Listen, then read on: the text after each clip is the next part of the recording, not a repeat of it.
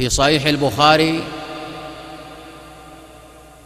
عن عمران بن حطان أن عائشة رضي الله عنها حدثته لم يكن النبي صلى الله عليه وآله وسلم يترك شيئا في بيته فيه تصاليب إلا نقضه.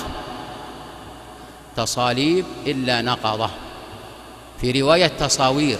قال ابن حجر رحمه الله في الفتح ورواية الجماعة أثبت تصاليب جمع صليب. كان صلى الله عليه وآله وسلم يزيل هذا الصليب إذا وجد في بيته من جراء أن يكون في ثوب أو فيما شابه ذلك.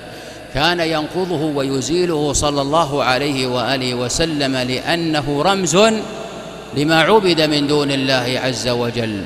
ومن ثم فإن على المسلمين أن يحذروا. في مثل هذا الزمن من شراء ملابس فيها تصاليب أو أدوات مدرسية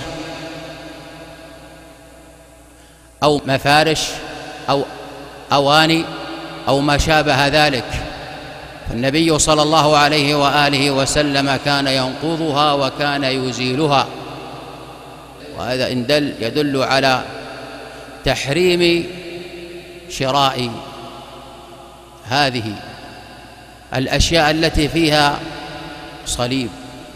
وكذلك يجب على التجار أن يحذروا وأن يخافوا عقاب الله عز وجل.